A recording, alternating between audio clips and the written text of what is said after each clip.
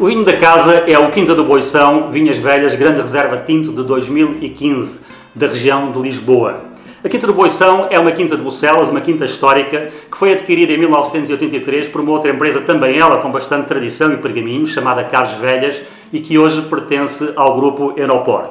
Esta propriedade está situada a 25 km de Lisboa e tem cerca de 33 hectares de vinha em solos de argila e calcário.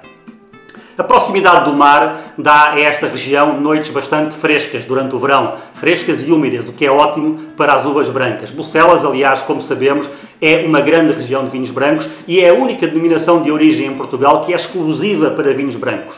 Todos os vinhos tintos ali produzidos não podem utilizar a designação Bucelas, mas sim a indicação geográfica Lisboa, como vemos aqui no contrarótulo. Apesar da larga predominância de uvas brancas, as quintas de Bucelas sempre sentiram necessidade de fazer algum tinto, sobretudo para abastecer o mercado da grande cidade de Lisboa, um mercado muito importante para toda esta zona que rodeia a capital, chamada Zona Saloia. E é assim que na Quinta do Boição, dos 33 hectares de vinha, cerca de um terço são de uvas tintas.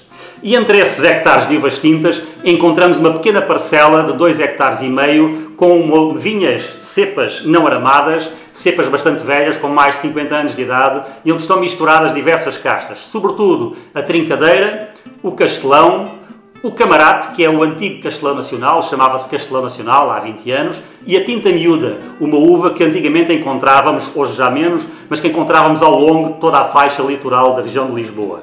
E é destas uvas e desta vinha que nasce o Quinta do Boição Vinhas Velhas 2015. Vamos então prová-lo. Desde logo impressiona pela cor, uma cor muito viva, muito intensa, sobretudo se tivermos em conta que é um tinto de 2015, não é propriamente uma criança.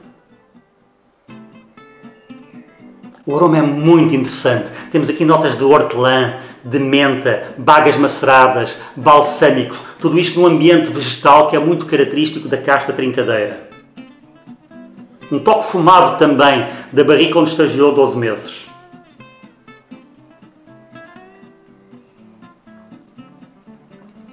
Hum.